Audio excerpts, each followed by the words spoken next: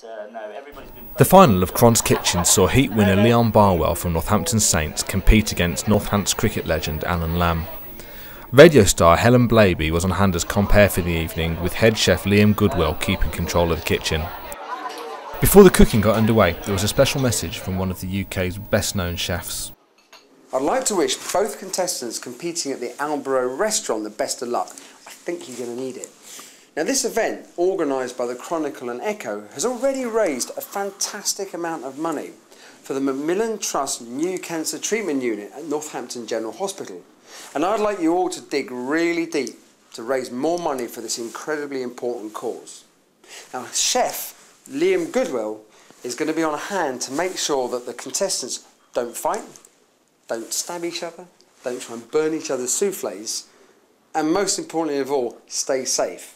Although with Lammy in the kitchen, I'm not sure if that's going to be the easiest thing to do because the last time he did anything on national TV when it comes to cooking was when he blew up the food processor on Ready Steady Cook because he left the spoon in it. So you're all going to need the best of luck.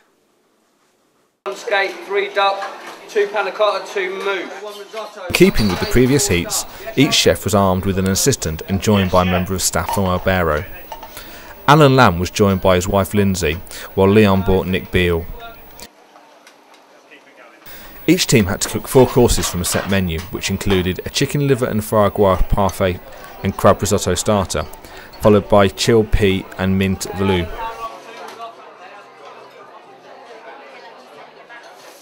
The main course saw teams cook either roast duck breast with butternut squash and broad beans, or crisp skate, leeks, herb gnocchi, and cockle and shrimp brown butter. Live footage from the kitchen was broadcast on television screens in the restaurant, so diners could watch both the teams preparing their meals. The event, organised by the Chron, was raising money for Macmillan Cancer Support for a new cancer unit at Northampton General Hospital.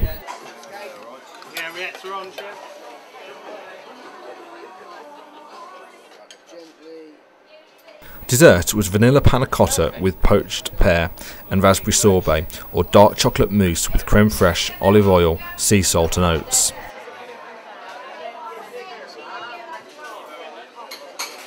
After much deliberation by the judges, the result was announced as a draw. Both chefs then competed in an omelette challenge, which was judged by Albero's head chef.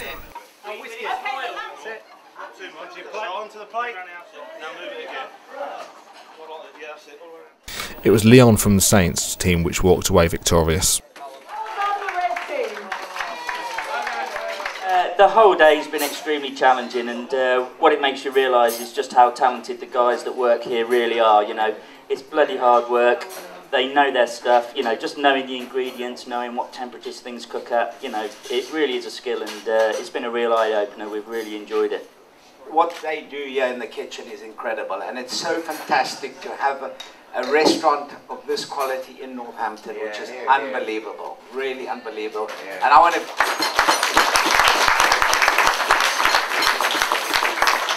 I just want to give a big hand to the chefs here, Liam and his team, Andy.